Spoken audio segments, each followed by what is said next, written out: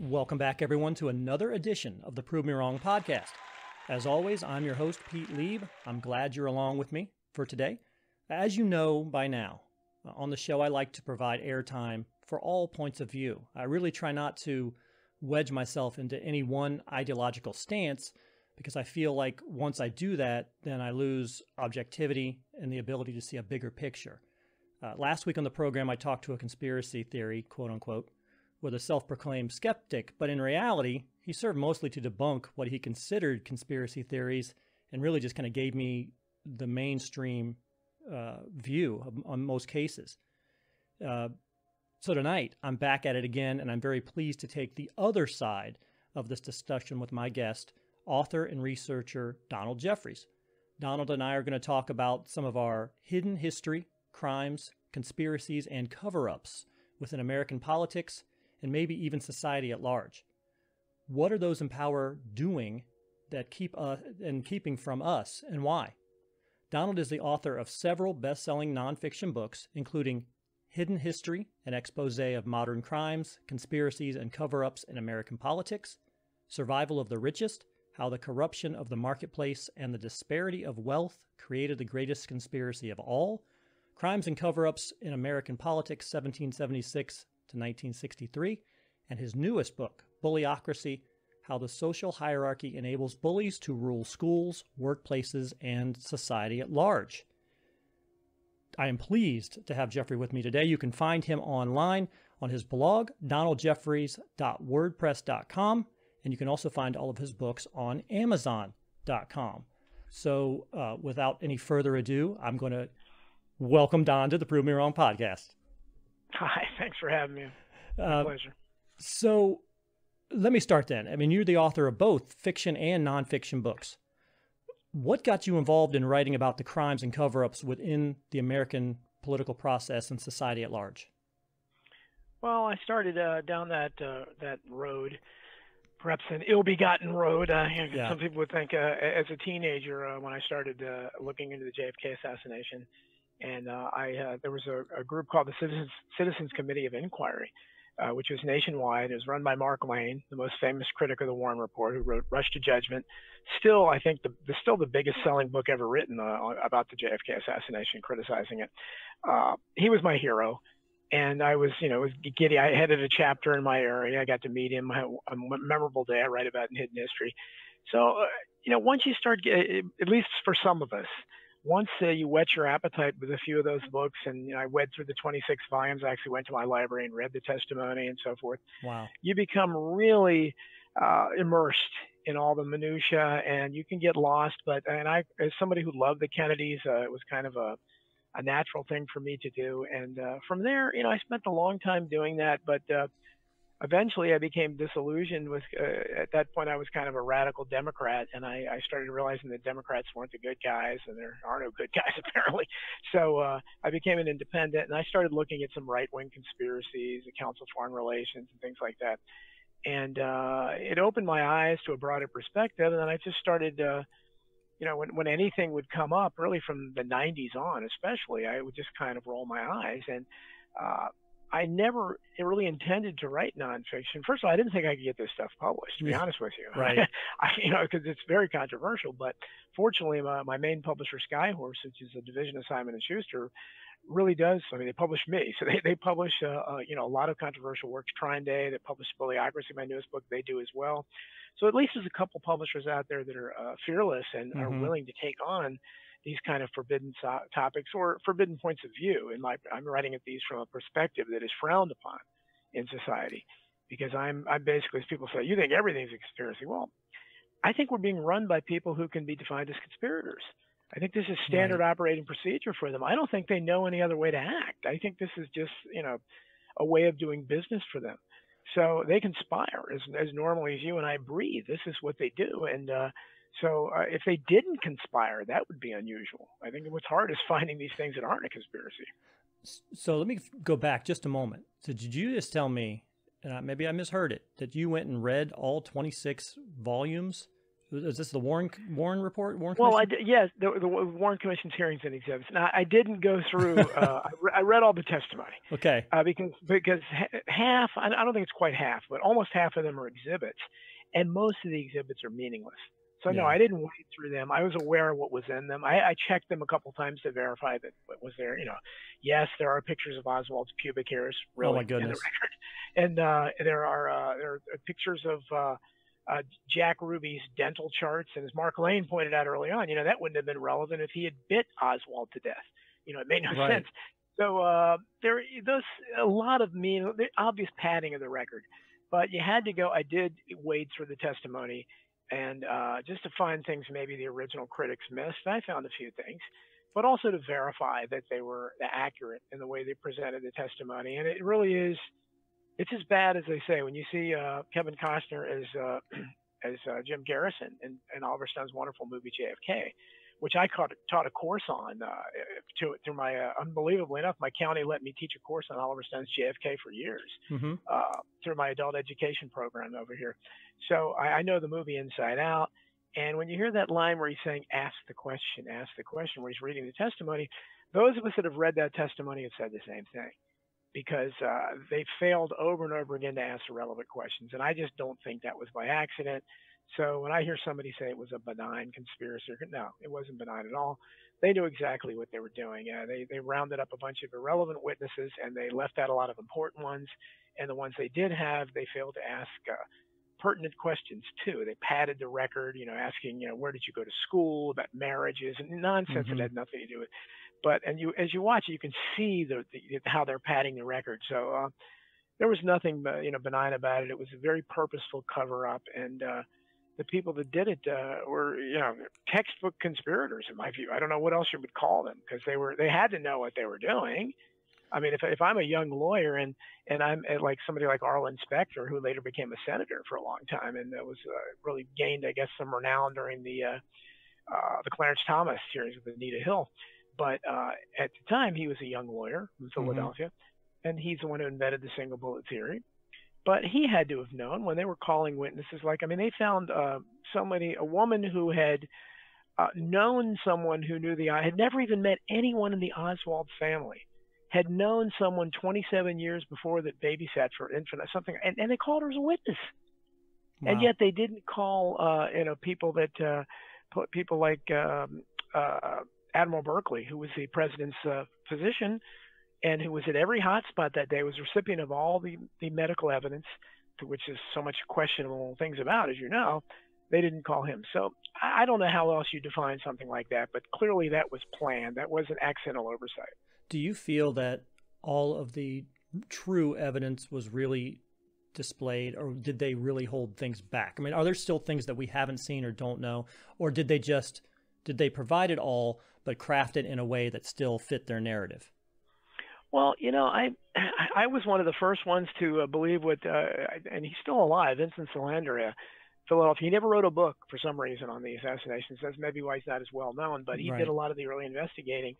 Uh, I think he's 90 some years old. I've tried to track him down to have him on my radio show, but he's hard to get a hold of. I'm sure he probably doesn't do Skype or anything. Yeah. But uh, he did some really great work, and he wrote something early on that I, I read, and I said, wow, that's my feelings exactly. And he talked about how the cover up was designed to be the way it was they purposely uh, left it so obvious. For instance, it took me forever to realize, you know, I do talk about the Magic Bullet CE399. Uh, it was almost in perfect condition. Yeah.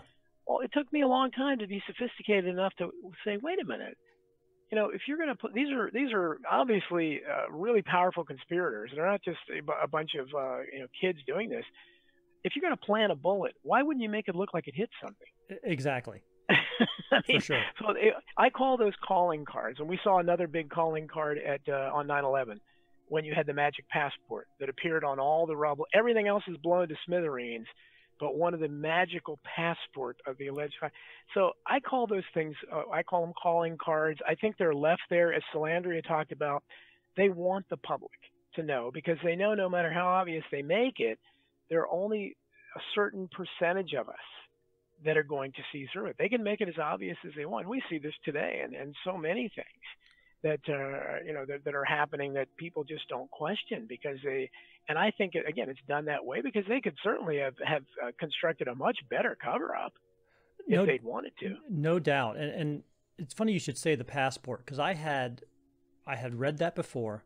I had actually even mentioned it before, but with in this age of of Photoshop and social media where things are are attributed incorrectly all the time, I wasn't really positive that it actually was real, that it actually occurred.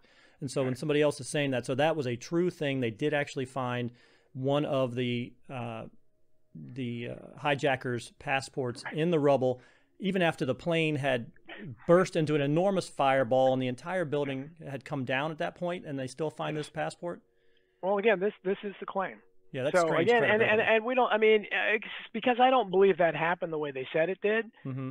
No, I don't think they did actually find a passport, but I think this was the story put out there. Okay and and uh, for public consumption because they, again they want they had another story like that about uh, one of the uh, a wedding ring that was found I believe one you know just just and of course it was a heart tugging at the heartstrings story this right. couple and uh, but again when you when you've looked at enough of these cases you see through that but again most Americans unfortunately when they hear these stories they respond to the emotional talking points there oh, that's terrible, the wedding ring, you know, is that point? And they don't they don't look at the logistics of wait a minute, how did that happen?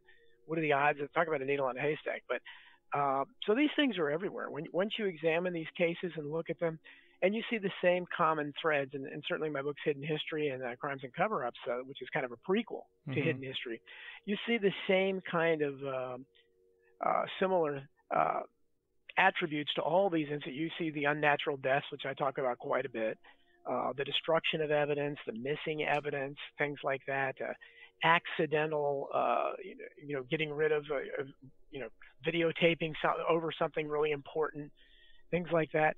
We see it over and over again. Oh man, it's just we made a mistake. Well, they seem to make these mistakes over and over again, and uh, you wonder how they can ever solve any crime. And certainly, there's a especially when you factor in something like JFK, uh, you have the Dallas police force, and I think when you see certainly our police now are under more scrutiny than ever with what's going on. But when you look at, uh, because police are under a policing for profit system, and their primary purpose is to bring revenue into the state, and that's mainly through traffic tickets, they're not used to doing a whole lot of uh, investigating real crime.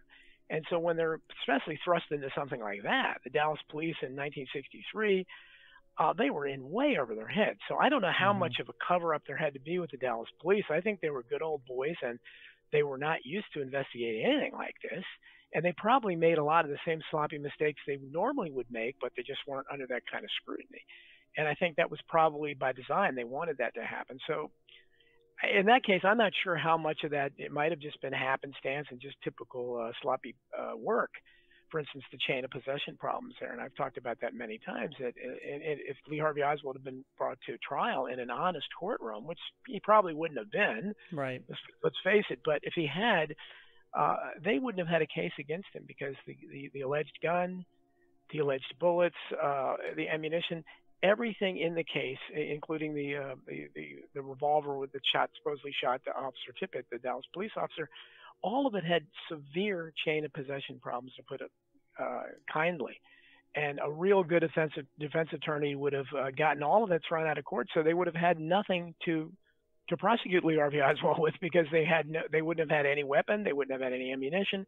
But uh, fortunately, we never got to see if that would have happened because he was silenced. I think we could probably talk and I think probably people have for you know decades regarding JFK for sure. Uh, but I, I, think it does speak to you were you were talking about um, the public really just not asking that next question, and it, and it does kind of speak to the dumbing down of society in general, but American society, uh, society specifically as well, to the point where if we hear it on in, on the news, it's truth. Whatever we hear on the news is the truth. Uh, don't ask that that next question. Don't ever think critically about what are they telling you here regarding j- just to go to right where we are right now. Uh, you know, the, the COVID pandemic that we are right now. I think I've read on your blog you call it the pandemic. Uh, so I'm assuming yes. that, that you also think that that's some type of psyop from the, the U.S. government. But, but when they're actually physically telling you that I've heard it online that the death rates include just deaths that happen to have COVID. Yes. So, yes. Uh, heart attack, COVID death. Right. Fatal fall, COVID death. Car crash, right. COVID death. So they are telling you point blank yeah. on video that we are counting every death where the person tested with antibodies or tested currently with COVID as a COVID death. But so now you need to really worry about the fact that you're going to die from COVID. Well, no, you're not. Not necessarily. Uh, out of out of those 35,000 deaths we've had, or whatever that number may be, you know, uh, in 35,000 in New York, how many yeah. of those were fatal falls, car crashes, heart attacks, uh, already people in hospice? Uh, you know, a lot of those were um, rest homes um, that are not, you know, hospice or homes, uh, old yes. old homes. homes. Sure, sure. They're already maybe already there, and they happen to get COVID, COVID death. So, right. what what is your current thought about where we're at with these? Because to me, again, it's either a significant conspiracy or it is just ridiculous gross negligence on the part of the government and the reporting agencies. I've also heard they're reporting they're calling new cases as any time you get a positive result versus right. tying right. that back to me. If I have a positive case, I have to get tested three more times. Instead of calling that one person with, with three tests, they're calling that three positive cases. Yes. Is that accurate also? Uh, actually, and yet, and, and, and even in England, they early on had a report how they were counting each test twice for some reason. So every test was so you, that doubled right there. I mean, I, and I'm actually working on a book about this right now as we speak. So uh, I, this is all fresh in my mind, yeah. and it's uh, I I call it the greatest psyop of all time, because basically the world, the entire world, with a few exceptions like Belarus and uh, uh, to some degree Sweden, right, some degree Brazil, uh, the rest of the world, and this is, you know, you talk about I, one of the biggest arguments against conspiracy I hear all the time is, oh, you can't get people to come together. Well, in this case, they got the entire world to come together. For sure. And what's saddest about it is that it happened, it really, within a matter of a couple weeks, the world was shut down, will never be the same again without a shot being fired. There were no troops needed, there were no police needed. Everyone did this willingly because they played on the fear factor. And this is, the most dangerous. Uh, conspiracy of all is what is going on here because they, they I think they finally figured that nothing motivates the average person more than a fear for their health mm-hmm. and their safety. So they're willing to say and do anything. You have people scurrying around in mass. You have people doing this nonsensical social distancing, which, as I understand, they just kind of arbitrarily picked a number out of six feet yeah. out of their head. They have, I mean, there's so the virus can't go seven feet. I mean, it's a, it's the dumbest thing ever. And you're seeing not only uh, the, I, I, just posted something tonight on on social media about uh, uh, the evictions that are going to begin in August. Mm-hmm. We can't even imagine the economic devastation. How many people are going to be thrown out on the streets? Uh, the economic repercussions of this alone are unimaginable, and uh, no one seems to care. I mean, no one seems to be looking at the big picture. Is that you, what, look what you've created, and we're never going to come back from this. 100,000 businesses, very conservatively, right. are gone forever. Uh, you know, you know what it takes to start a business and, and startup money and so forth. Uh, that's not an easy thing to do, and millions of people have been thrown out of work. It's this is just a horrific situation, and really for nothing. We don't know when schools are going to open back up. You see sports, right? Uh, they started back up, and clearly, I don't think they're going to be able to make a go of it because they're continuing to test nonstop. And the, the, these tests have already been shown to have an 80% false positive rate. No one seems to, people kind of shrug that off, but they're responding to every positive test a baseball player gets. And for all we know, because we weren't being tested for the coronavirus before, most a lot of people say the coronavirus is the common cold. So right. who knows what what would have been the, the if they had done this to everyone in the past. 90% of us might have tested, even though we have no symptoms, we're feeling fine. But so this is going, to, I think, going to wreck sports. Uh, they're already taught. I'm reading today. So many NFL players are dropping like flies, saying they're opting out of the season. You're going to see oh. this over and over again, and uh, and that's just one thing. Are movies? Are people ever going to go to the to, to uh, movies again? These actors. So, and these that's just kind of the entertainment aspect mm-hmm. of it. All those people have enough money, but restaurants, servers. I mean, they have opened up to at least on a kind of a part time basis or whatever, or where you certain amount of seating and all that social right. distancing nonsense.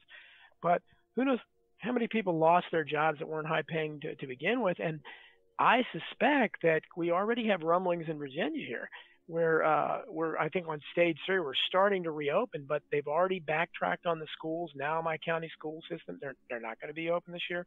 Uh, Bill Gates wants to have schools closed till 2021. I, you know, Yeah, I, I. I don't it, I don't and I don't see any long range plan.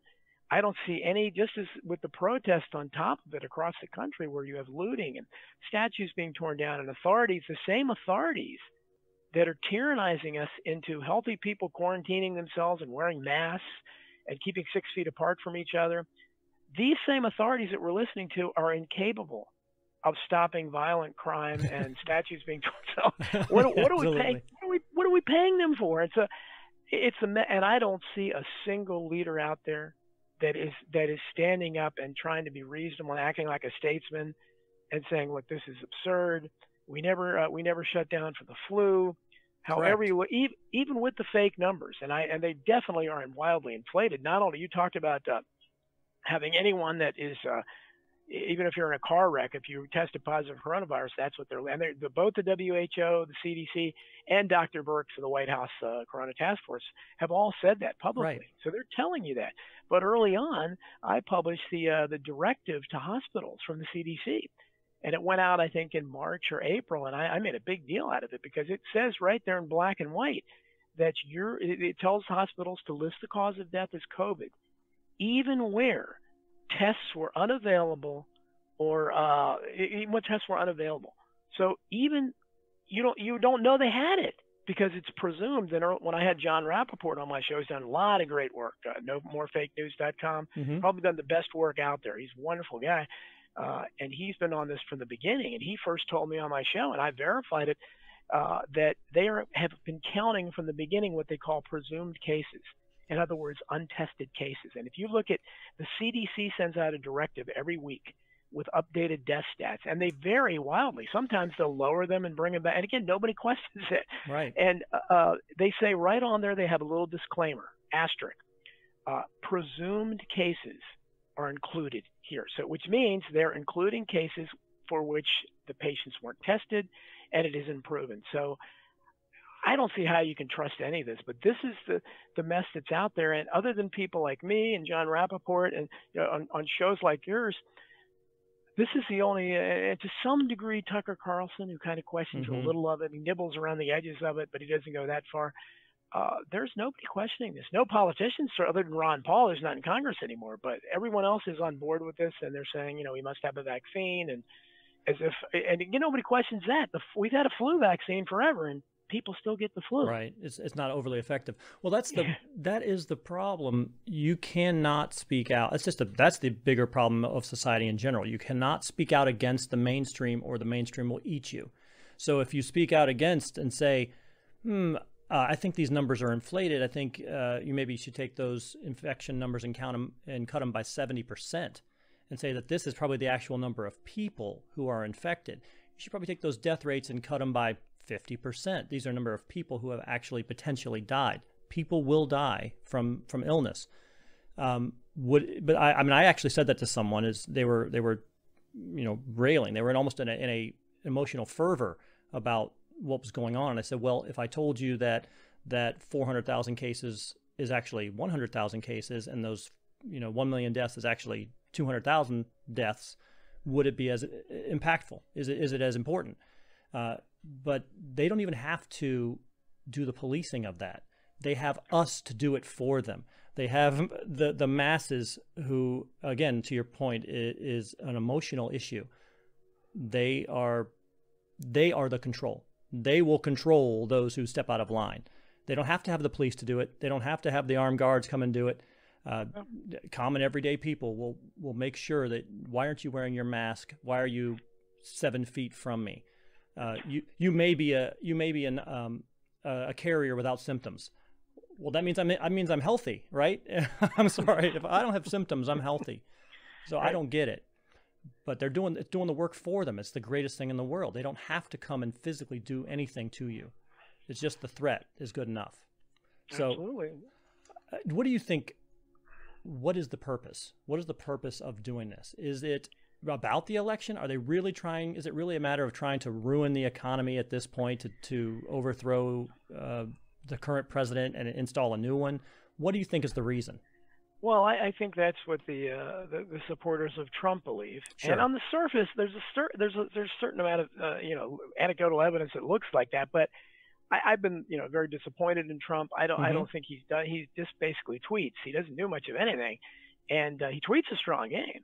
He you know a lot of Yeah. times, but Oh, yeah. uh, he doesn't do much. He backtracks constantly, but and, and never really does. People in his cult that I call him his cult really don't seem to notice. But I said when he was elected, which I did not see coming at all. At all, I never saw that happening. I'm still in shock from that. I said at the time, he's our last hope. Mhm. He's still our last. That's as bad as bad as it is because I don't think much of him. I think he's basically a buffoon, but he's our last hope because everyone else is either, uh, as far as the Republicans, they are absolutely worthless. They're just a bunch of do-nothings who sit there and, and uh, call them cucks if you want to call them that. Mhm. They apologize for everything that they don't even do, and the Democrats largely are completely out of control. Uh, a lot of them belong in padded rooms. I mean, they're delusional. So we, it's madness out there. And for what's happening now, I have never been able to figure out what the end game here. I, I think on the surface, uh, doing something like this is, is an exercise in uh, just total c- control.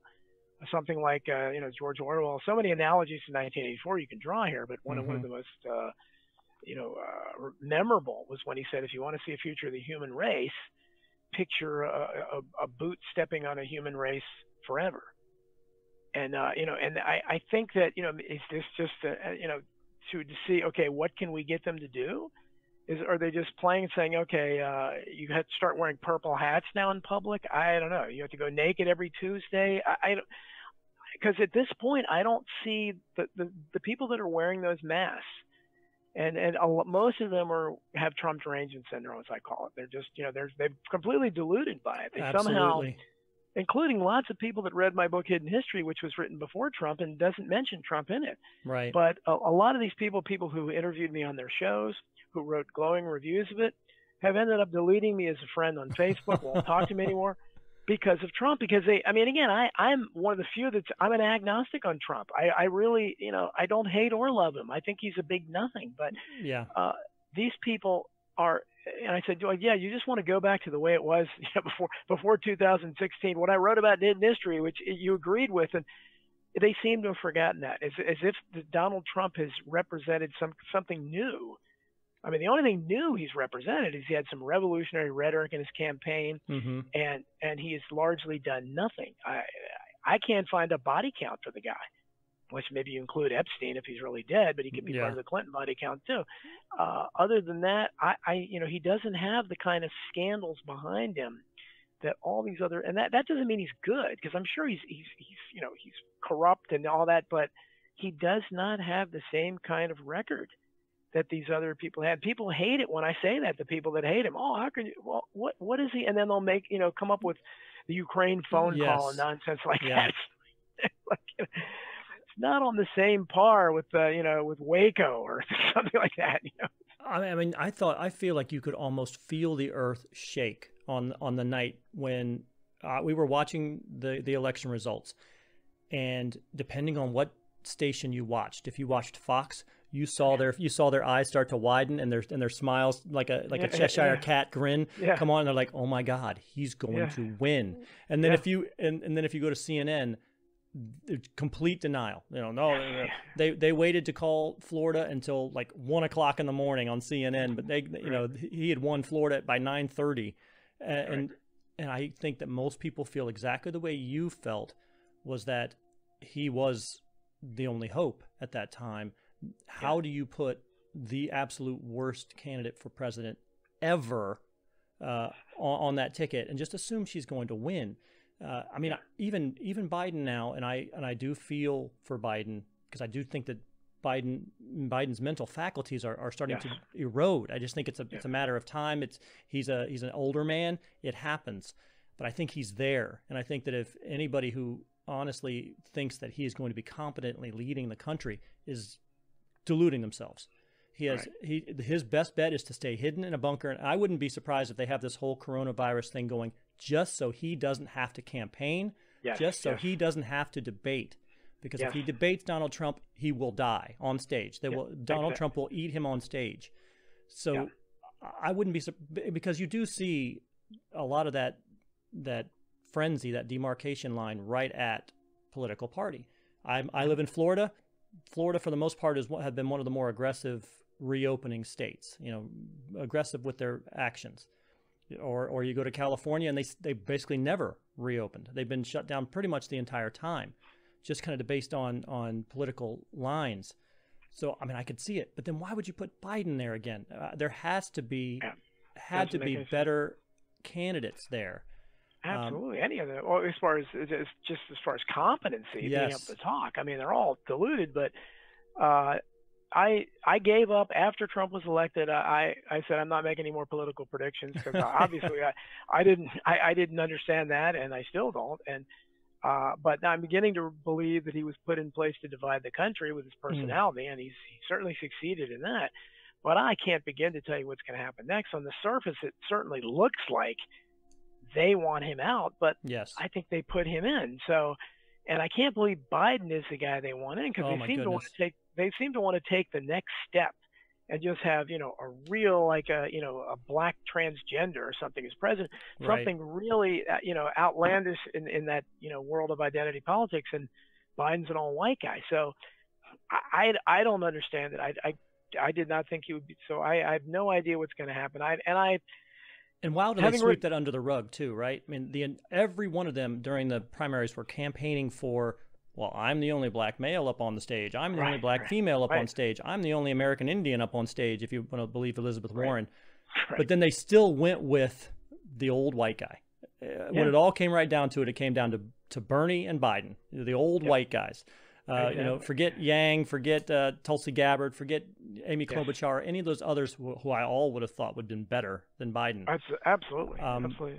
Uh, I, because I'm I with you. I am with you 100%. I voted for Trump, not for Trump.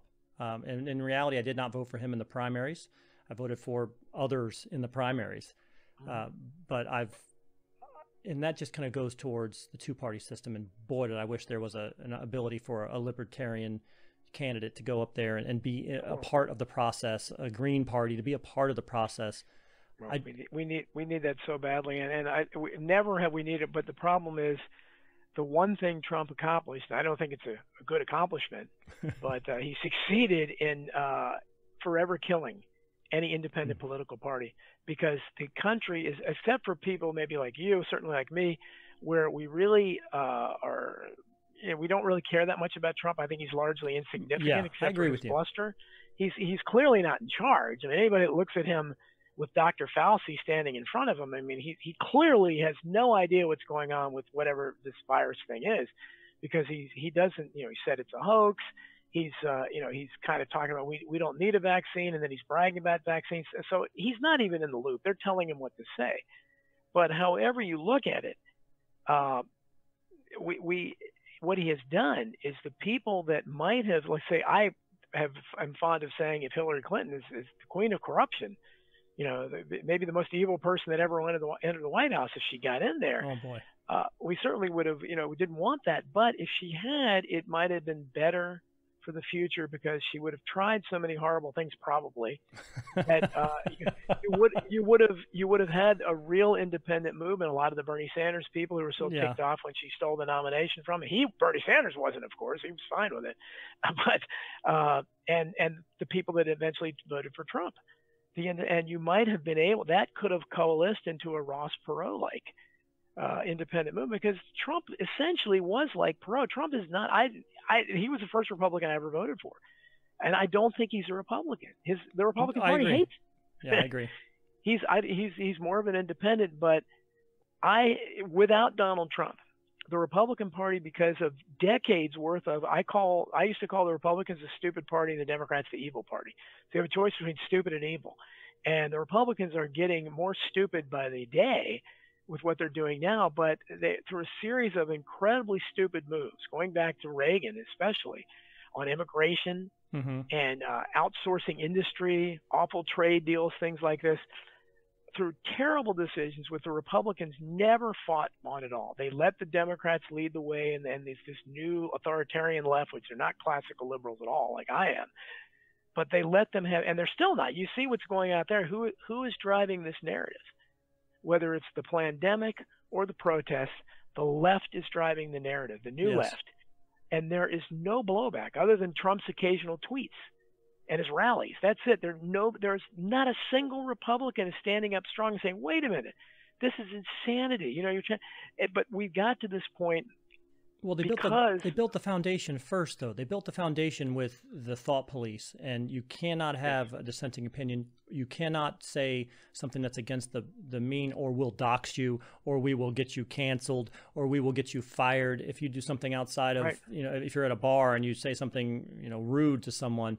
They can get you fired for that. They'll post you all over Absolutely. Facebook, and you lose your your livelihood over something like that. So these people all they all they're really working towards anyway is reelection for the most part all of them if we had term limits maybe they could go in there and say well i've only got four years anyway right. i'm going to get something done but this is a life choice for pelosi and and you know biden and you know sure right. aoc she's expecting she's going to be there for 50 years so, so they're working towards reelection so they can't say these things because wow if i inflame some portion of rural kentucky you know right. I, I may not get reelected. Well, and, and I, I think that again that because of their failure to stand up to uh, any of this, I mean, any, any of this push, it's constantly. It's like I, I wrote Bullyocracy, a book about bullying, so I'm familiar with bullies. And mm-hmm. what is happening now is that establishment, which is again, they're not my kind of left where I was, and, and uh, they're not classical liberals, they're not populists. They are authoritarians. They're more like fascist right. or Marxist, if you want to call them that. But they're pushing and pushing and pushing. And until they meet resistance, they're going to keep pushing. They are meeting no resistance. And so uh, these Republicans are worthless and they deserve what they're going to get. And if, if the votes are remotely counted, you know, I, I don't know that they are. I mean, I've written enough about elect, and certainly wasn't from Russia. We've had lots right. of elect, electoral fraud going back to landslide Lyndon Johnson in, in 1948 or before even. But the Republicans are such a pathetic group now, and they the demographics of America have changed so much because of their idiotic subservience to this ridiculous open door policy of an immigration and the millions and millions of illegals out there that are they want to be able to vote. So they by allowing that and by just being so enthralled with cheap labor because that's what it meant to them was that cheap labor that's uh they've destroyed the country and they've destroyed their party because except in a few pockets, maybe Wyoming, Colorado, places, South Dakota, other than that, I think you're going to see a blue wave like you've never seen before. I think I think the Democrats are going to take the, the Senate back easily, and I I don't think personally I think that any Republican candidate, presidential candidate in the future, will be lucky to get 30% of the vote because they represent nothing. They represent nothing. All, all, their basic argument is tax cuts for the wealthy. That's that's really the only, and that's that's a great sell. Mm-hmm. They don't care about working class people. The reason Trump was elected is because he didn't sound like that. He had populist rhetoric, and he talked about the awful trades deals, building up the infrastructure, ending the senseless wars, things that no other Republican talks about. And so eh, we this this is it. Like I said, this is the last hope because otherwise you're going to have. I mean, can you imagine Marco Rubio or uh, I, I, I, somebody like him or, or, Jorge Bush or whatever the guy the guy is mm-hmm. uh, George Bush's grandson or something. These are just imagine those kind of campaigns. It's going to be they're going to be trying to out virtue signal the other, and it's uh, it's it's we're but, a long way removed from our republic. But I I honestly I do personally think though that I don't think that liberals are, are doing themselves any favors by burning cities down. I no. think that that is I think I think you're right. I think if they had done nothing and just let Trump tweet, then then uh, I could see that happening. But I think as long as they continue to burn their cities down, as long as they continue to, to not do anything about homeless on the side of the road, defecating on the road, you know, right. Right. Not, as long as you can see in visual form uh, this and see how how how crazy it has become with 93 genders. It's amazing how COVID is only affecting two genders though. It's only affecting male or female.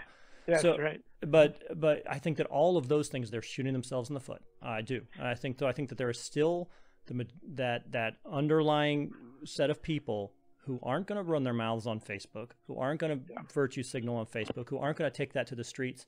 They're going to say, okay, well, I'm going to go here and I'm going to vote And I think that's well, I actually I, think that's what happened to Trump. That's why Trump won.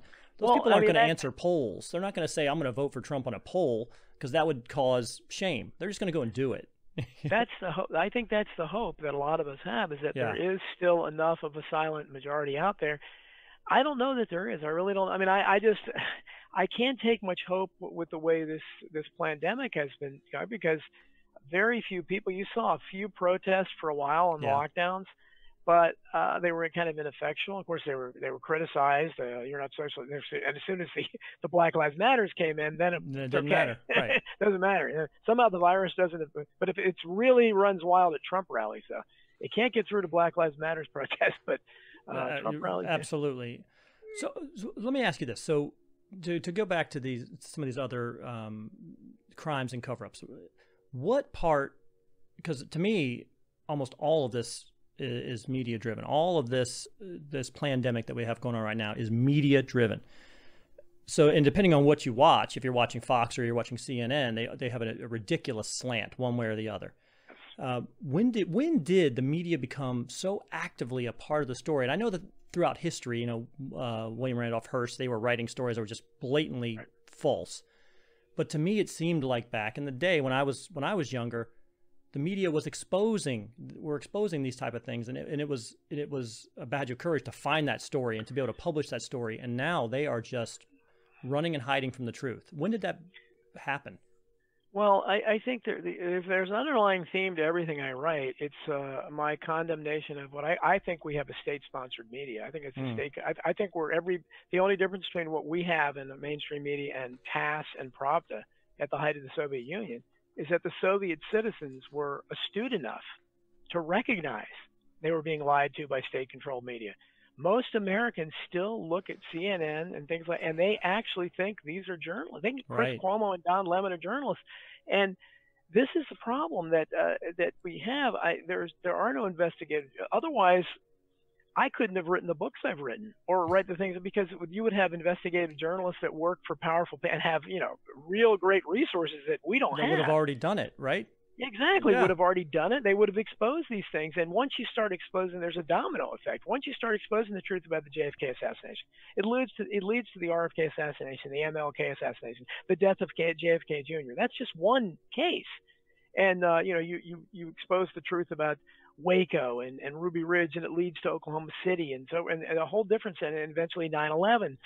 These things are all intertwined because they're all part of the same mass of corruption, but what they all share in common is uh, uh, just a startling reluctance on the part of the mainstream media to do any investigating on. In fact, what they do, they save all their skepticism for people like us, where you know, uh, you know and they'll point figures and mm-hmm. they'll, they'll do some investigating if they can there, so they'll try to, you know, expose anything they can in our background. They'll look at, you know, things I've tweeted, but they can look all they want at somebody like me because everything I say is controversial. So right. They, you know, they're, they're, I mean, that's, I, I'm putting myself out there as that. I don't care. I'm never going to apologize for anything I write. I'm very aware of and saying it. And so, uh, I, you know, I'm not going to, I'm not going to cuck out like these guys do because I'm, you know, I, I'm putting, this is why I believe what I believe. This is why I say what I say and uh, you know i'm not doing anything different behind closed doors. And i actually think just to, to, what you're saying right there i think trump does that tremendously. He sends he spits out so yes. much ridiculousness on twitter that you become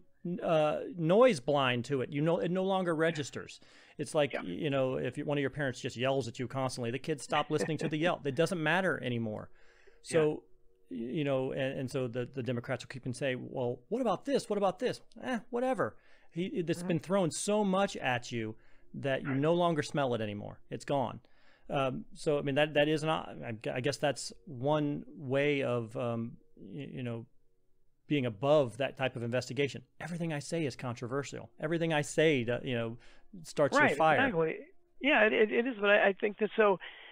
I, to answer your question though, okay, yeah. uh, about when I think, I mean, I, I I don't think the media has ever been really good on any of these issues. Certainly, my book Crimes and Cover-ups, a bit earlier, uh, will show you that they certainly didn't do themselves uh, justice, you know, or things like the Lindbergh kidnapping and things like that. Mm-hmm. They they really didn't do any investigating there at all. But I think the media really became. I, I, I'm fond of saying that the the 90s when with, when Bill Clinton was elected I think that's when you saw classical liberalism die because he was a new kind of neoliberal kind of, and uh, he he didn't pretend to care about the traditional liberal issues of po- peace, mm-hmm. uh, you know, working class wages, uh, the rights of prisoners against capital punishment, things traditional liberal issues. Uh, big labor. He didn't he didn't make a pretense of unions or anything like that but he was the first virtue signaling president. He felt your pain, as he said, I feel your pain. And that's when I think the left became uh, imbued with this uh, identity politics where it's all about emotion. And, and, and, from that time on, it's just gotten worse. Certainly under Obama, it, it, it, it went through the roof because the whole Obama was worshipped and revered for what he was a half black president. Right. And it didn't matter what he said. In fact, he could talk, speak smoothly. And, uh, you know, play, shoot baskets in the way or something. This, this was it was a thing. Like they treated him like a pet, and it didn't matter that you know it was business as usual. He had a huge body count, as I wrote about in Hidden History. Uh, he, he bragged about killing people. He was bombing, I think, seven countries at one time. He didn't end torture, close down Guantanamo Bay. He didn't build the infrastructure. He did nothing to raise the minimum wage or help workers at all. But he was perfect for uh, social justice warriors. Right. Because he looked the way they wanted to look. And so much of this, again, going back to Bill Clinton, is built on this uh, anti-white stuff. And, and so many are pushing it are white people, which I don't understand. It's a very, very curious phenomenon where you have whites screaming about white. Right. I don't, I don't get it. It's very, I mean, most people don't know only 16% of the membership in Black Lives Matter are black. I mean, exactly. What, yeah. I don't even know what that means, but it's pretty bizarre, you know, if you think about it. So we're we're living in strange times, but I think the media was so enamored. I think that's at that time you had a lot of people like Clinton and were younger that were even younger than Bill Clinton, ex hippies mm-hmm. that had entered journalism. Maybe they were inspired by Woodward and Bernstein and Watergate and all that. And uh, I think at that time, so you ha- you end up having ridiculous things like, I mean, the, the media, and I wrote about that in history. They were embarrassing the way they fawned over Bill Clinton, and they made, you know, they made, uh, you know, excuse after excuse. And you had somebody like Nina Burleigh, who was still out there and, and is taken seriously as a reporter, who said she wanted to give down and give the president a blowjob oh, for keeping abortion legal. I mean, this is uh, not to mention what a degrading thing is for alleged feminist. Right. And then she told all the other women, get, get you, you need to get your presidential knee pads out too. So it's like, you know, what, what, what kind of a feminist says that? And uh, just because of that, and of course, that's when again the the ultimate uh, politically correct issue for the today's left is abortion. Uh, and and that's uh, become such a divisive issue, but mm-hmm. it kind of heads the culture war. And I think that we, it turned from economic issues that used to define the left to uh, cultural issues, and uh, where suddenly then that's you get the push and the push and the push, so you end up with you know 57 genders or whatever, because there's no stopping it. Right. And and next you're gonna they they will probably try to mainstream pedophilia. They kind of already are. They are yeah they are doing that now. Yeah, and there's and there's again there's no reason for them to stop because they're they aren't meeting any resistance, and you know the bullies don't stop. They keep pushing and pushing and pushing, and uh, what should be put it shouldn't be on uh, you know upon uh, incumbent upon us to push back. It should be again our leaders, and uh, you know where where is this? I, I've written a lot on uh, you know the, the the gist of the Black Lives Matters and Antifa argument is that there's systemic racism and we're being run by white supremacists and white privilege. Well, why is every I mean every organ in our establishment not only uh, publicly supports Black Lives Matters and Antifa, but gives huge amounts of money to them. That's a strange thing for white racists to be doing right. to people that are condemning them. Uh, so again, but nobody looks at it that way. They just look like, you know, what, what, where is the evidence of this? There's, there's no evidence at all. There's systemic corruption, yes, and that's what you. But, but to call that out, that requires a little digging, and it's different. And that's why I, I quibble all the time with people online about racism and all that stuff. And I said, you know, this is once you start saying something's racist, you've lost it because there is a huge problem with police. Mm-hmm. There's police corruption and there's but as soon as you say racist, you've turned people off because it's not racism that's doing it. It's policing for profit. It's the corrupt system. That does need to be reformed. But you're not going to reform it by saying you can't arrest any black people. That's not the way to do it, and that's the way they want to reform it. That's the way this movement is pushing it. And um, again, nobody's talking sense, and there's nobody. And the, the other side, when there is any resistance, they apologize and stutter. Mm-hmm. And uh, you know, the, the CEO of Chick Fil A, who's supposedly conservative, says white people should be, you know, shining black people's shoes. I mean, just incredible subservient kneeling. When we had police and National Guard out there kneeling with these people, and it's like, we, you know, they they want to they want to defund you. Right. What are you kneeling for? I mean, I, I don't understand any of it. It's madness. If anybody had told me a year ago that this would be where we'd be, I, I would not have believed it. But I, I, this is this is, and I, you know, now they're talking about. Um, they're suddenly bringing up UFOs, another interest of mine, uh, and and finally talking about how the government, you know, has known for decades that there's alien technology, which I don't think there is, but there is a phenomenon there. Mm-hmm. I think mm-hmm. it's another government project. But a lot of us in the conspiracy world have been joking for years about are, are they going to stage a fake alien invasion? I think that may be next. I don't know why they're suddenly talking because they've done everything else this year. That's so, that's if Trump wins November fourth. November fourth, it's yeah. the alien invasion. Yes, and Greta Thunberg. They'll say, "Take us to Greta Thunberg," and oh my uh, you know, goodness, lecture us on climate change. I guess, but it's I don't know. I try to keep a sense of humor about it because you have to, otherwise you go crazy. But it's it's it's it's really sad because yeah. uh, I, I I hate sounding so pessimistic all the time, but I there's there's no way I can sound optimistic. Yeah, there really isn't a lot right now to, to say this is the beacon of light right now, uh, um, certainly.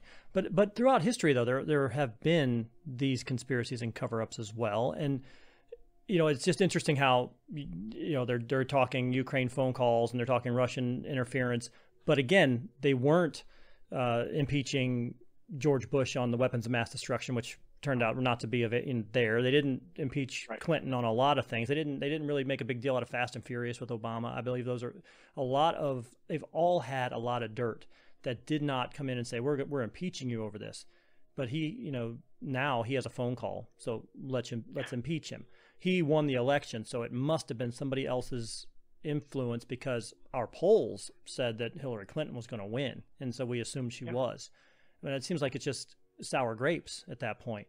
Um, but when you're looking back at some of those things in the past and you're writing these books, you know, these hidden history books, what are the sources that you're using for these books? What, uh, you know, because history is written by the victors too. You know, right. the things that we're being taught in right. school is right.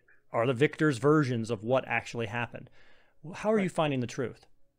Well, there, there, it's not hard to find. It's it's out there, mm-hmm. and it's and mostly I try to use mainstream sources because they'll they'll ridicule you if you don't. No doubt. Yeah. And and so I try whenever possible to use. Now sometimes it's uh, in personal interviews. I've talked to some of these people. Uh, for hidden history, especially, I had to use a, a feisty little newspaper called the Spotlight, which was condemned as anti-Semitic, but they d- did a lot of great work, and sometimes they were the only source for some of these stories. But I mean, they interviewed people that you were there and think that no one else interviewed. Now I'm now writing a disclaimer. I write for the American Free Press regularly, which is uh, was is the old Spotlight basically, and they give me a forum, and you know they don't tell me anything right, but I, I write pretty much every uh, issue for them. So uh, and I think it's the last independent newspaper in, in America. But in researching these things, uh, you just basically what we what I look at is how these same thing. I, am using the same sources that a lot of the establishment, what I call court historians, use. Mm-hmm. The problem is they twist it and they interpret it in in, in their way. But they're trying to. I, I, don't have an agenda. So for when, for instance, when I'm writing about the Civil War, the war between the states yeah. and, and crimes and cover-ups, I can find Southern sources. I can find I can look at union letters that they try to suppress. Like I, I make a big deal out of the letter of uh, Lieutenant uh, Thomas Myers, who was a, a, Union soldier, who wrote home bragging to his family.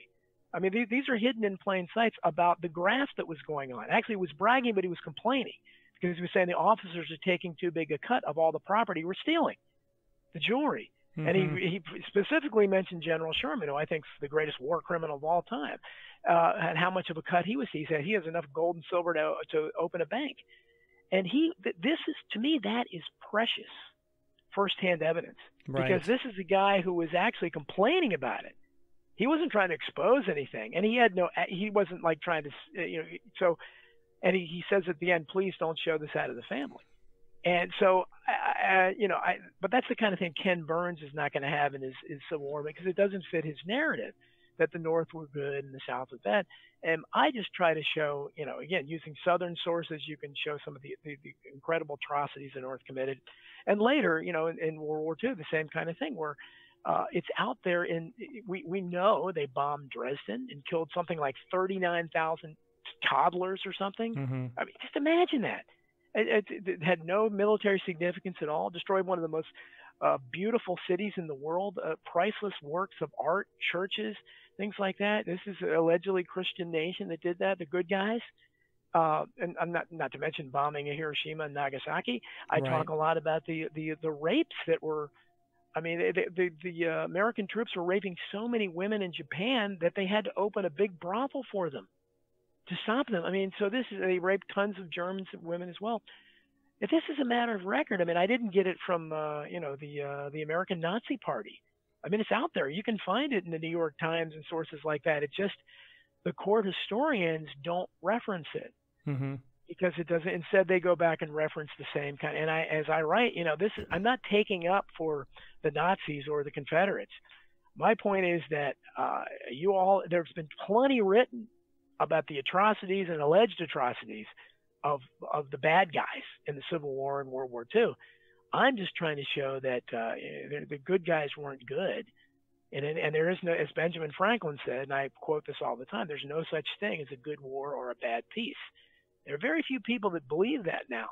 I believe it, and uh, I try to point that out with everything I write. So I look back at history, and you're right. History is written by the victors, mm-hmm. and people seem to forget that. And just imagine how different things would be if, uh, certainly, if Hitler had won. We have no idea what the world would look like, but certainly the history books would read quite a bit differently. And same thing with the if the southern states had been successful. I, I don't know if they would still have an independent.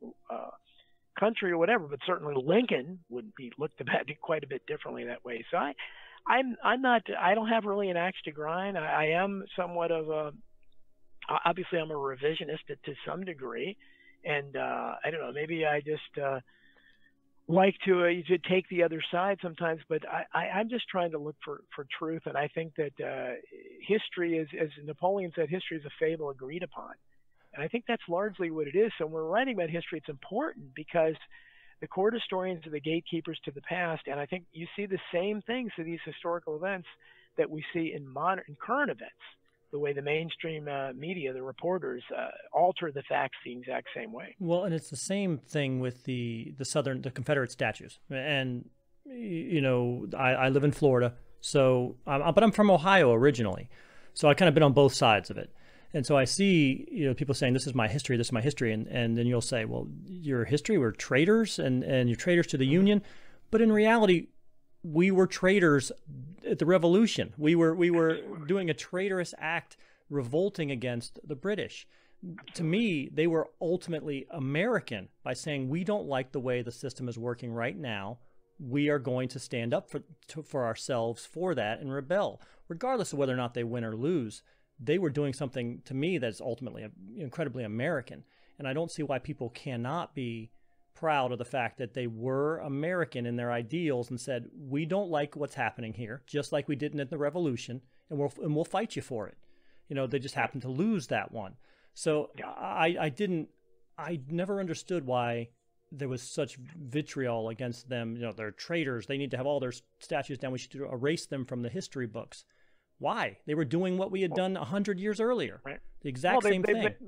They, and they've managed. You're, you're exactly right. I mean, we, we seceded from Great Britain. That's right. Did the exact same thing. And and you could look at all the quotes I have in Crimes and Cover-ups from Thomas Jefferson and others that uh, clearly uh, Thomas Jefferson. any time a people that has uh, you know uh, no longer agrees to the government, they have a right to alter or abolish it. And most people feel. And the reason why we don't talk about the founding fathers much, except to condemn them now as mm, racist. Yeah for sure. Is because and they, they own slaves, and that's that's the only issue. That's it.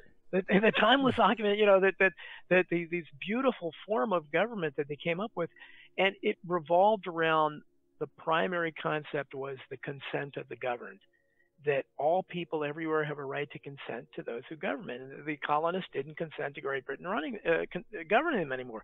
They fought a war to prove it, and the one percenters of their day uh, really, really did risk their fortunes and their lives. Some of them died. A lot of them fought personally. They weren't sitting behind desks. They, they, they walked the walk. I mean, General Washington was in the field. George Washington was, was out there exactly. leading the troops. Absolutely. And, and these these were no uh, armchair warriors or chicken hawks.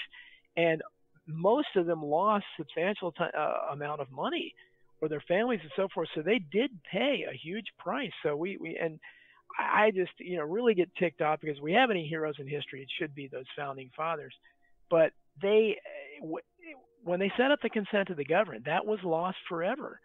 When Abraham Lincoln decided to crush the secession movement, because and again, no matter and I firmly believe that the southern states would be looked at as the little plucky underdog they were in reality, mm-hmm. and they would be sympathized with if you factor out slavery. But you can't do that. Right. And so slavery, even though the Northerners I've shown over and over again in my books and the quotes, where every by today's standards, virtually every white man alive in the 1860s was was a vile racist.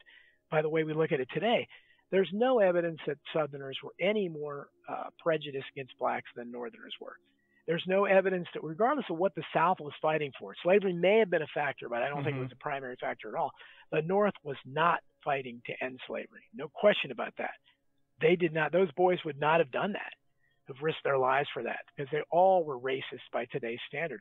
But what was lost, as the great populist Lord Acton said, uh, one of my heroes, the guy who, who came up with the great quote, "The power corrupts, absolute power corrupts absolutely." He was a good friend of Robert E. Lee, not Ulysses S. Grant, and he rode back and forth to Robert E. Lee over and over. He was rooting for the Confederates, and he he was inconsolate after uh, the the South lost. He said, "You know what we lost there cannot even be measured, and what we lost in, in America." we lost the entire reason, the rationale for the for the revolution and the war for independence, the founding of the country, and that was the consent of the government. Because clearly, the South no longer consented in 1860. Right. Our government crushed it, and it sent the clear message: is you this is not a consent of the government. I don't care if you we don't care if you consent or not you have to stay in the union. There's no, there's nothing in the Constitution or that that say that says a state has to stay in the union. That's just just as they have provisions to add states to the union. If people wanted to leave, they had every right to do it. All the founders said that, but you can't separate the slavery issue. And so I get in arguments with people, and it's everything. And they, they love to throw the word traitor out and all that stuff. Yeah, and it's absolutely. all because of slavery. It's all, and the same thing with World War II. You can't rationally discuss that because you have the Jewish question in there and the Holocaust and all that. that and so it ends up, you know, oh, you're you love Nazis, and it's like, no, this is this is not. I'm not defending anybody. I'm just pointing out that they're not good guys here, and especially in the case of the Civil War, I think a lot of the problems we see today still are as a result of the original cultural divide, which came out of that Civil War. That I mean, we don't line up exactly the same way, but it's the same kind of deal. Basically, I I, I think if you looked at, at Trump supporters today, a real diehard, and a lot of independent people, they they're the ones that kind of are a little bit sympathetic to maybe they would have supported the South or they, you know, they would have agreed that they had the right to secede, as I do. But certainly everyone, the majority that hates Trump or just is uh, on the left so far, they they you can't even talk to them about issues like that. They're traitors. Not That's horrible. Yeah. And I and I'm triggered if I see a Confederate statue or a Confederate flag there was a Confederate flag in my neighborhood that I, I was amazed at because I live in a a nice neighborhood, but it's full of you know hate has no home here, and now Black Lives Matter signs, and uh, right. because there are basically a lot of liberal federal government workers that live around here, and uh, so when I walk in the neighborhood, I for a long time I used to see this American flag flying next to a Confederate flag in one of the houses, and I, I was amazed. And I wanted, I never could find the people because I just wanted to say, I, look, I, it doesn't matter what I think about it you got balls to be flying that, you know. Yeah. And uh, it, it was down about maybe three weeks ago, something like that ago. It, it, it's no longer there and scrawled out in front of the house Black Lives Matter take the flag down, please. Mm-hmm. And uh, obviously, I mean, for somebody that had the, you know, the the strength to to to play, uh, put that up, they took it right down. And I I just think there's because I you know why are you triggered by a flag? Why are you triggered by a MAGA hat? I, I mean, there's not a hat in the world that would trigger me. I mean, if somebody's wearing a hat saying Don Jeffries is an idiot, I, you know, I would maybe consider publicity. I mean, I'm just not, I'm not going to be triggered really. I don't, I don't understand, but that's identity politics. That's what the new left is. It's all about emotion. How does that Right. make me feel? I see that flag and it offends me. And and that's just you know because it interferes. You can't have freedom of speech uh, when you have that kind of identity politics because it doesn't go together. You know, when you can come up with a, a concept like hate speech, which is impossible to prove, it's incompatible with free speech. And but again, most people capitulate to that. There is no such thing as hate speech. Hate's an emotion, and once you try to put an asterisk on it like that, you don't have free speech. But I, I realize I'm I'm a very small minority Right. because there aren't many civil libertarians left, and I'm a civil libertarian. I, I just don't think many people are willing to risk it uh, in in this world of um, video, and every phone is a camera, and Right. uh, people just don't want to risk it. They've seen too many people now on on Facebook who maybe had one too many beers and you know got into a, a verbal confrontation with somebody. Right. wasn't physical, wasn't necessarily degrading. Maybe said, you know, "f you," whatever. Oh, this person did, was rude to me online. Find this guy and have him fired. Fired. Yeah, Uh, exactly. and so you, you you are no longer able to have civil discourse because you are going to be almost immediately labeled either a racist. That's a very easy card to play, or you'll be named a conspiracy theorist, and that's almost as bad. You know, you are you are immediately disregarded. Uh, you know, people don't want to talk to you. Well, you're you're a conspiracy theorist. You're an idiot. You know, and that's it. Right. Um, Right. They don't want to hear it because it because it does it's against their worldview. Um, Right. How do your how does your you know you say you're very outspoken. How does your family deal with the- your, your views and the things that you say? Well, that's you know people ask me have asked me about that increasingly. Uh, you know, I have been. That's why we talk about trying to awaken people. We like to think Yeah. of ourselves as being awake.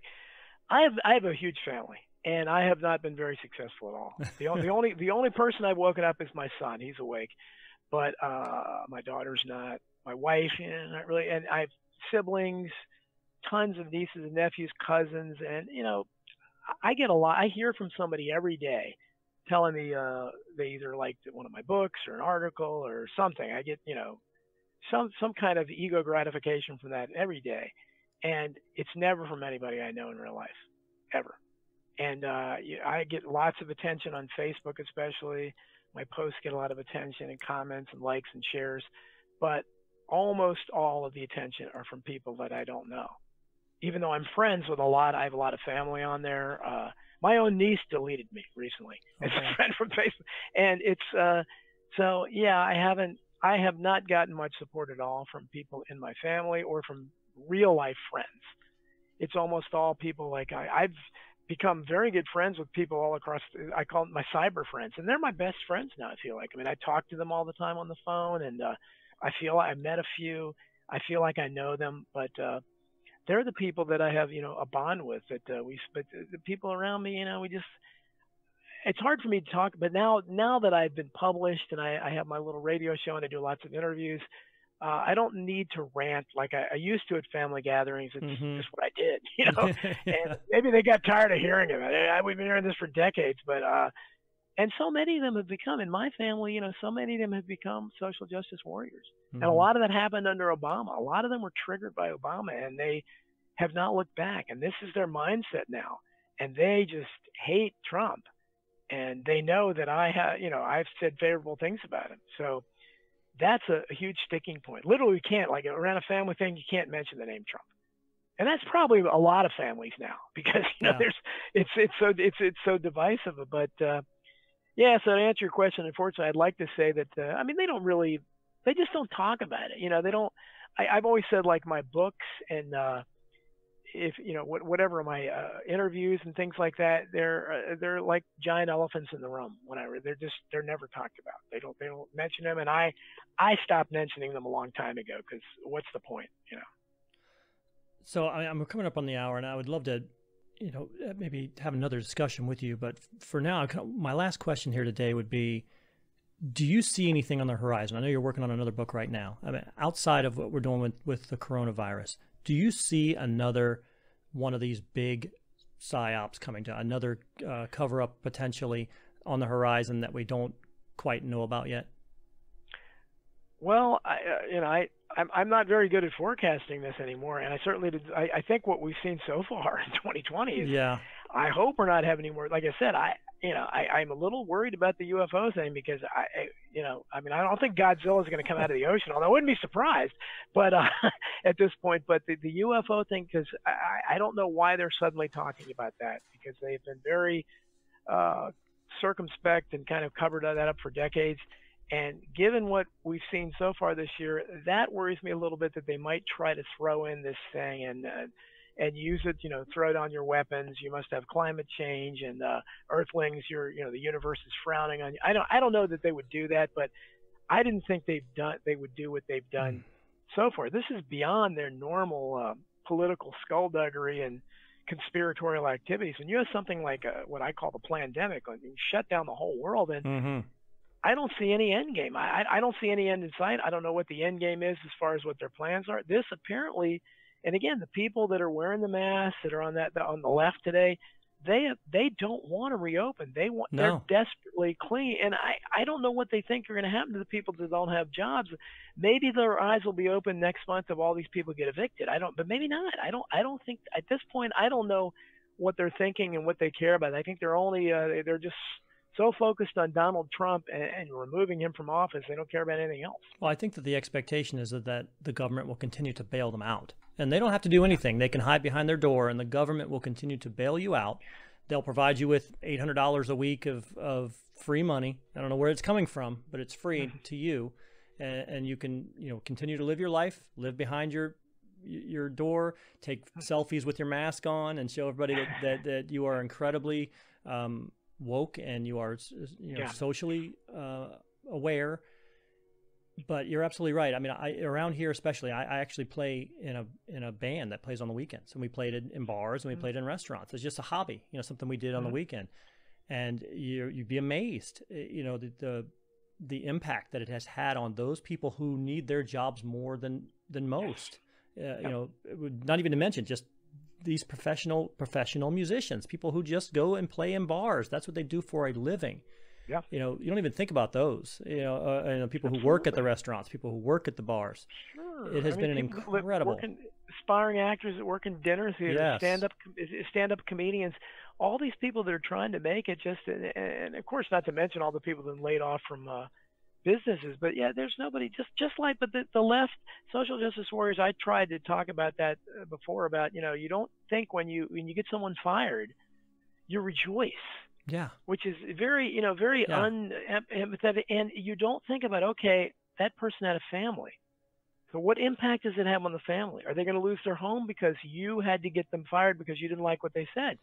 But they they don't think along those lines. It's all about this made me feel good. Right. I got my vengeance or whatever, and which is you know not a liberal position that that ever existed before liberals are you know were known for super tolerance you know what what did they used to call them bleeding hearts you know that's what they used to call us mm-hmm. and uh you know we were more empathetic you know we felt sorry for prisoners the worst criminals in the world well we could still feel empathy for them you know don't be cruel and unusual punishment now they want to take somebody that's a know, middle-aged person that has no other job prospects and because they think they're racist right get them fired and i I, yeah. I just I just think it's it's just a horrible uh, way to to lead your life, but this is this is a reality, and more and more people are are like that now, or at least are supporting it.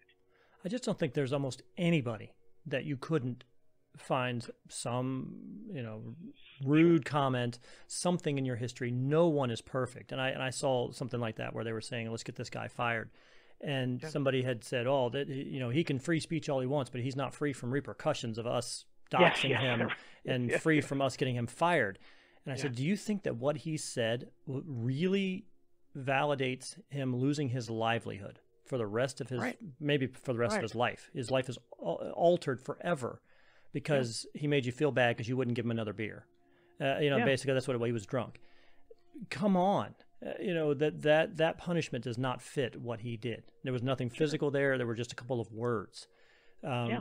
But you're right. It, it so it's uh, it, it's really interesting to me because we are getting to a point where who's perfect? Who's perfect among us? And I, I do I honestly do think they're going to push that to the point where it's like a rubber band. Eventually, you, you pull it so far that it snaps or it snaps back. I, we're hoping. We're yeah. we're all hoping for that tipping point. I, yes. I I don't see any indication there is a tipping point, but you'd think there has to be at some point. But I, I, so far we haven't reached it, and I, I don't know. Tearing down all the statues, the Mm. graffiti everywhere, that isn't a tipping point. Businesses being closed, people losing. Their, I mean, you have a few people like the uh, the guy with the big beard that's on Tucker Carlson all the time. I think in New, New Jersey that owns the gym. That Yeah. that's, it, it, I like that guy, but but there aren't many people like him, and there. But it's it's power in numbers. Everything is a power in numbers. If enough people stand up, if you have enough, but as long as it's isolated, as long as everyone's scared to act, and it's just a few voices like that guy that are willing to walk the walk, they're going to keep winning. We have to have power in numbers, but I don't know because I I don't want to risk anything either. I mean, I've Yeah. people ask me all the time, you know, what are you doing? Well, I am putting myself out there writing and talking about it. I'm saying controversial stuff all the time, but that lots of people are seeing. But I am not going to take any farther than that because I know I live near Washington D.C. If there's a big rally in Washington D.C., I know it's not going to draw enough people to make a difference. If, if thousands and thousands of people, yeah, I would love to go there and participate. I'll be a speaker if they ask me. But Right. if it's going to be 20 people, 50 people, even 100 people, we might get shot or tasered or at least arrested. And for what? There's no support there. So you have to have power in numbers. And so I don't, I I guess I'm kind of talking out of both sides of my mouth because I'm criticizing people not acting, but I understand it because it is Yeah. scary because you, you do risk, you see, as you mentioned, what happens, you say the wrong thing, you can lose your job. So, and that's where I think leadership, that's why we really you can't expect the public but you have to we start to have to start having some uh, some people that have money and and are in a position much as the founding fathers were Mhm. where they can do this average people can't do it or certainly our congressional representatives if the republicans really are an alternative to this which they're not clearly they should be standing up in unison they still have the majority of the senate it's not going to be very much longer they should be attempting to do something. But we know that that most of them are, are just as bad as the Democrats. So yeah. again, I don't know what hope there is. I don't see much hope. I, but I hope you're right that maybe eventually it'll reach a breaking point or a tipping point, and people will finally fight back. So you think? Um, this is my this is my last question. I promise. So you think that uh, YouTube and all those Navy released videos of the flying saucers, you think that's a prequel? You think that's a setup to okay, here, here it comes, uh, February of 2021, Yeah. uh, alien invasion. I mean, we've seen a lot of those videos now coming out Yep. on. YouTube. Yes, and, and Um, how surreal would that be, right? I mean, I, I- exactly. come on. I, I, I, I mean, I, I wouldn't predict that. It, it sounds outlandish, but it sounds outlandish to think that we'd all be scurrying around in masks and keeping six feet apart from each other too, and schools it, would be really closed. would. Yeah. Sports. I mean, I, so it, it's not more outlandish than that. Now, it, now it would be if I thought real aliens were coming. That'd be a whole different ballgame. But I don't. I don't think this is. Maybe they'd be an improvement. I don't know. But uh, certainly, what what would be a fake alien invasion? And again, it would be. I think no matter how obvious, I, I suspect the same people that are wearing the masks would believe the fake alien invasion. I think it'd be the same breakdown. People like Yeah. us would be saying, "How can you believe it's real?" You know, they're talking about climate change and stuff, but because they'd probably be giving them a message that they were receptive to, they'd probably believe it. So I, I hope not. I think we've had enough, uh, you know, action and excitement hmm uh, to last us forever. But at this point, I, I don't know. I, I haven't seen any. I, I never saw any of this coming. I don't know what the end game is. I don't know what the plan is. I, I can't believe they're just planning on on staying shut down forever. But that looks like what they're planning to do. It, it certainly does. I mean, they're trying to manipulate numbers every way they possibly can to keep the fire high. I, I mean, in, in Orlando here, we had a story two weeks ago, maybe, where the Orlando reporting came out 98% positive pass. Te- Yes. But in reality, it was 9.8%. That's a huge difference. You know, and look and- at all the Florida Marlins. I mean, that's what's going to wreck Yeah. the baseball. All the Florida Marlins have tested positive, and that's that's going to cause the baseball season to go right there because you know Florida's a hotbed now. And you know, Mhm. is it is is it a hotbed because they resented so much when Florida Floridians started going back to the beaches? Because clearly they did. They, were- absolutely they were- did. they They were- so I mean, They were hating that Florida wanted to have fun. How dare us? How dare us want to live our lives and have fun and go to the beach? You're exactly. you're going to catch something on the beach. I mean, come on. Yeah. Give, give me a break. Uh, and then even that they used they used photos of beaches that weren't actually Florida beaches, and and, and that's what they were putting online. Those weren't those aren't Florida beaches, folks. I live five miles from the beach. I know what it looks like. But Yeah. um, okay, so thank you so much, Don, for for uh, joining me tonight. I really appreciate it. It's been great. Uh, would you like to take another few minutes? Is there anything else that you're current? I know you're working on a book. Is there anything else that you are currently working on that you'd like to take a, a plug for? Well, I, I hope more people uh, read uh, uh two of my, my my conspiracy books. Do really well. Hidden mm-hmm. History and Crimes and Cover-ups, are both doing well. They always do well. They sell well. My other books, Survival of the Richest, especially, is uh, my kind of my look at, and I think it's more uh, you know apropos now than ever because we're seeing with the mass evictions coming up and the trillions. We still don't know how much has been stolen by the the top layers of the one percent during this pandemic. It's it, it, it, looked at it one way. It's one of the most mass, as Ron Paul called it, it's a massive transfer for, of wealth from the one percent uh, from the middle class to the elite, mm-hmm. and we're certainly seeing that. But uh, you know, when you have a situation like Jeff Bezos made 13 billion dollars in one day recently, one day, and I, I did the math, and you're talking about uh, hundreds of centuries. Yeah. Working at forty thousand dollars a year to make 13, what he made in one day. Something is utterly wrong with a system like that. It can't be defended. So Survival of the Richest first talked about it long before this pandemic, and it's more again more relevant than ever now. So I, and it has a new foreword in the paperback version by Naomi Wolf, a great classical leftist who mm-hmm. I've been uh, we're mutual admiration society. I'm so glad that she's out there because there aren't many good people on the left yet, but left left, but she is one of those. So I, I wish more people would read that. And the other one is Bullyocracy. Uh, as you noted, how the social hierarchy enables bullies to rule schools, right. workplaces, and society at large. That had the unfortunate sense of timing of coming out right as this thing hit. So it got lost in the shuffle. I had a book launch party and book signings canceled. Uh, haven't been able to have any since because the bookstores really aren't, aren't open for that and uh, I had interviews canceled because all anybody wanted to talk about. That's when I started talking about this uh, mm-hmm. pandemic because that's all anybody wanted to talk about naturally. So I hope people will give that a chance because I I've, have gotten more feedback on that than any book because uh, so many people's lives are touched by bullying, and I hear heartrending stories always from people and what they went through and how they're so glad that somebody finally wrote a book about it uh, from the right perspective. So I hope people, anybody who has been bullied or has a loved one that's bullied, please check out Bullyocracy. You're, you won't be uh, sorry you did because it really is the first book written from your perspective. I wrote it for all the victims of bullying who, uh, who's unfortunately the, the same rigged system sides with the bullies and not the people that they're bullying. Well, I mean, I would actually love to have you back on and talk about just that specifically. I know we, we were pretty broad t- tonight, um, but I would love to have you back on to talk about just specifically that and, and dig into that because I, I agree with you 100%. I mean, it's almost, it's gotten to the point where it's, uh, I mean, I'll write a passage for most children uh, coming up yes. that way, and, and you are correct about how workplaces and society are, are geared that way. You get rewarded for it all the way up, you know, through your life. Yes. Um, so okay, so once again, donaldjeffries.wordpress.com.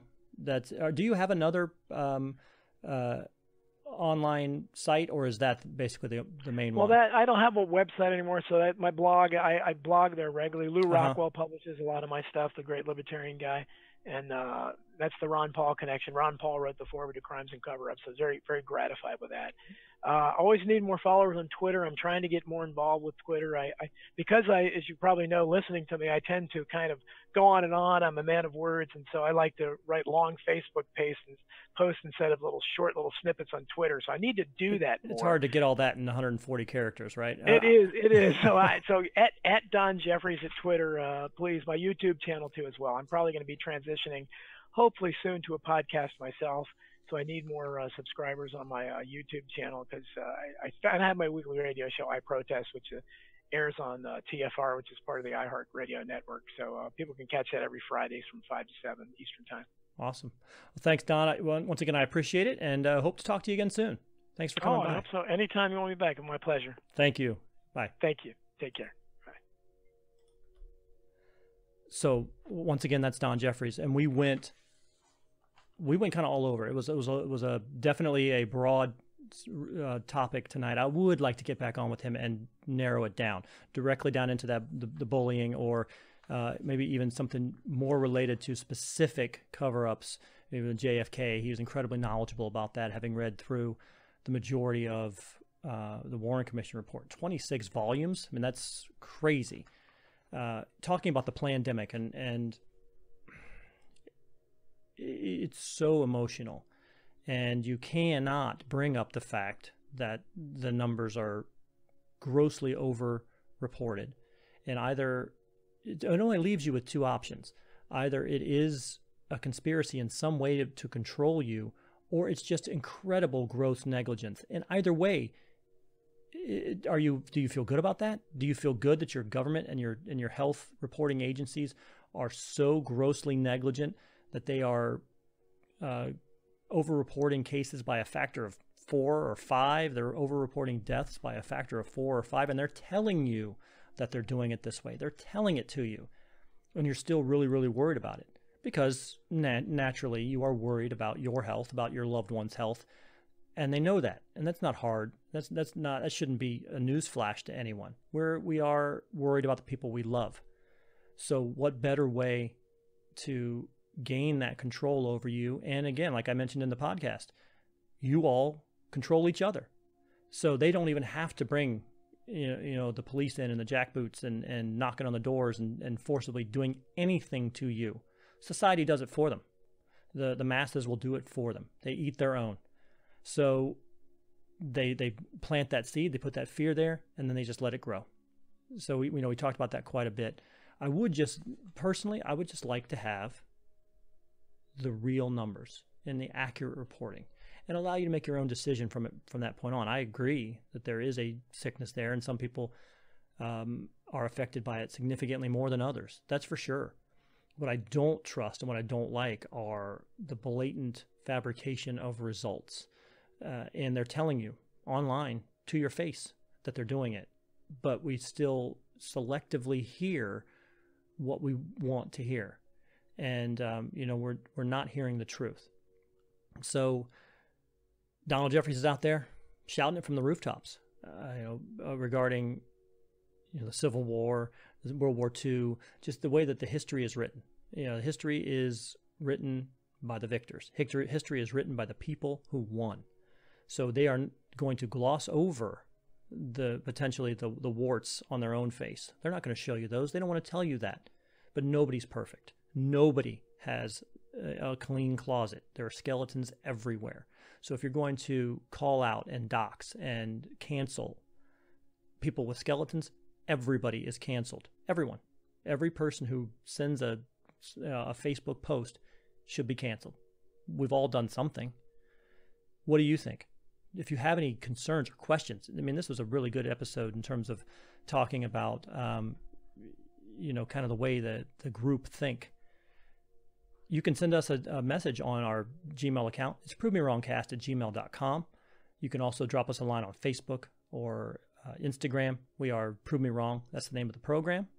If you're just looking for more ways to listen, we are on basically every podcast app that um, you can find. We're on Spotify, TuneIn Radio, SoundCloud, Stitcher. Again, anything that you can find podcasts, you can find the Prove Me Wrong podcast. Like and subscribe to the show, and you'll be the first one notified when we have a brand new episode. We typically uh, post every week. So every week on a Sunday, you will see a brand new notification come up that says uh, new Prove Me Wrong podcast. You can be the first on your block to listen. We also have a YouTube channel. You can see the scroll right here on the bottom of the page. Like and subscribe to the YouTube channel as well. And once again, you will be notified when we have uh, a new content as always, new subscribers are always great and appreciated. So, once again, drop us a line. Let us know what you think about the discussion tonight. We could have talked, I could have talked to him for three more hours and probably not even scratched the surface. I kind of had to cut it short because I think most people don't really have the patience for a, a super long podcast, quite honestly. Um, so, before we go, tonight our Prove Me Wrong podcast has been brought to you by Java Remix. Java Remix is the perfect blend of 100% organic Arabica coffee infused with nano emulsified CBD. Start your day off on the right foot with a great tasting cup of coffee with all the demonstrated benefits of pure CBD. Java Remix offers traditional ground coffee as well as single serve K cups in both regular and decaf.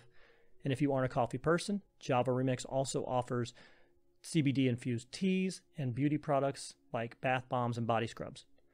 As an added benefit for our Prove Me Wrong listeners, if you go online right now, javaremix.com, and enter the promo code Prove Me Wrong, you'll get a 20% discount off of your entire shopping experience. Java Remix also offers free shipping on all orders over $40, so you really have no reason not to give it a shot. Once again, that's javaremix.com, promo code Prove Me Wrong. The Prove Me Wrong podcast is brought to you tonight by Zendo Zone Citronella Burners from JT Eaton. They're shaped like fearless bug repellent tiki gods. So go ahead and let Surf and Stan, Hawaiian Howie, and Luau Lily bring the islands to your backyard with Zendo Zone Citronella Burners. Zendo Zones uses natural 3% citronella candles and incense cones.